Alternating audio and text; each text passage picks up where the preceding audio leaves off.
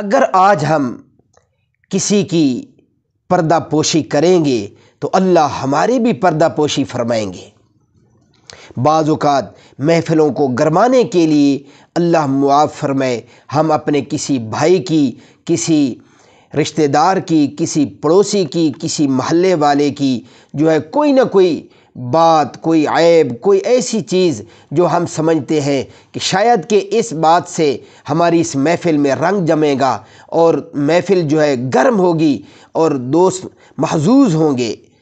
तो हम ऐसी बात कर देते हैं, बहुत सख्त गुनाह है मेरे मोहतरम सामीन। तो यही वजह है कि आज हमारी इज़्ज़तें भी तार तार हो रही हैं। एक मिस्री आलिम का कहना था कि मुझे ज़िंदगी में किसी ने लाजवाब नहीं किया, सिवाय एक औरत के, जिसके हाथ में एक थाल था, जो एक कपड़े से ढांपा हुआ था। मैंने उससे पूछा, थाल में क्या चीज़ है? वो बोली, अगर ये बताना होता तो फिर ढांपने की क्या ज़रूरत थी? बस उसने मुझे शर्मिंदा कर डाला।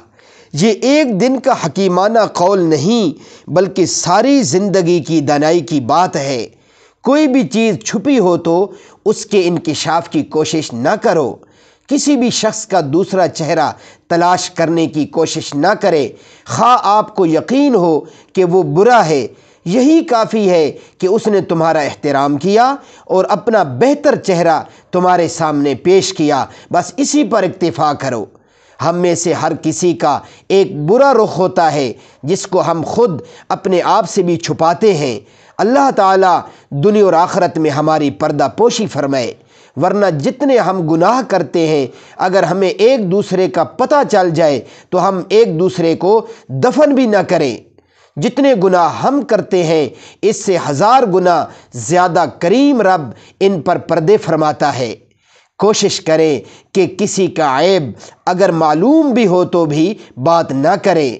आगे कहीं आपकी वजह से उसे शर्मिंदगी होगी तो कल क़्यामत के दिन अल्लाह पूछ लेगा कि जब मैं अपने बंदे की पर्दापोशी करता हूँ तो तुमने क्यों पर्दाफाश किया?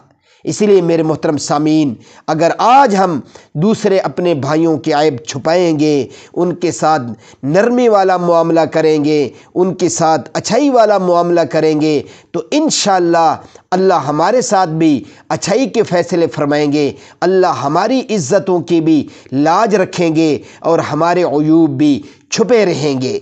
अल्लाह अमल करने की तोफ़ी कता फ़रमाए।